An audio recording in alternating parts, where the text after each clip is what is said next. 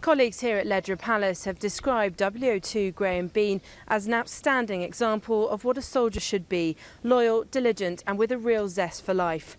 The 54 year old was out on operations in the buffer zone when he collapsed on Tuesday. He was taken to hospital but was later pronounced dead.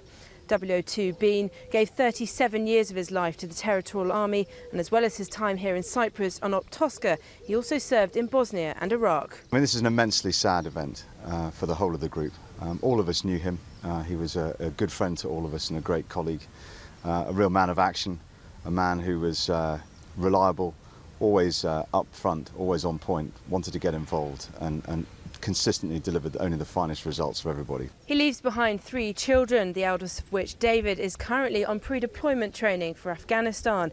His family have paid tribute, saying it's been such a shock to lose a loving father and husband who brought so much laughter and so many smiles to all who knew him.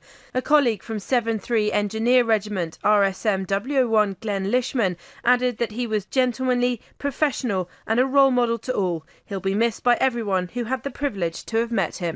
Three Royal Anglian are still only a month into their deployment, but are now determined to honour WO2 Bean's life, someone who died doing something he cared passionately about in service of peace and of his country. You've got to live life the way that Graham would have done, uh, and as far as I'm concerned, you know, this is this is time to you know chin up. Let's get on with it.